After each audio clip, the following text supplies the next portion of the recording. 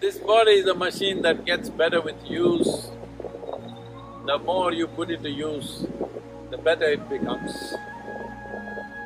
Well, it has its cycle, but within the cycle of life, to keep it in the best possible way, you must find a way to use every aspect of this body, every muscle, every vein, every joint, every everything that you got, every cell in the body.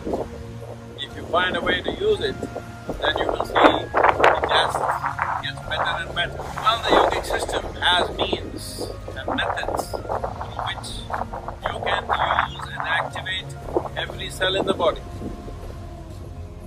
And it will make you better in many ways. Better need not necessarily mean younger. When you're sixty, you don't want to be a eighteen-year-old for sure. Only a foolish mind would think like that. But better in many, many ways, indescribable ways, you can be better. See, this is a… this is a 1976 machine, this is 1957 Getting better by the day